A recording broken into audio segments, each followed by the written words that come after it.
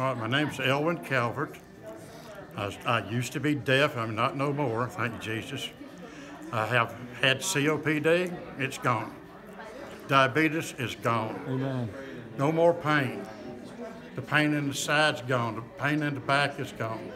Been there for years. I can touch my toes. I couldn't touch my toes before. Thank you, Jesus. I can jump around. It feels just fine. I couldn't do that before without hurting. That's it, brother. I don't feel no pain whatsoever. Praise God.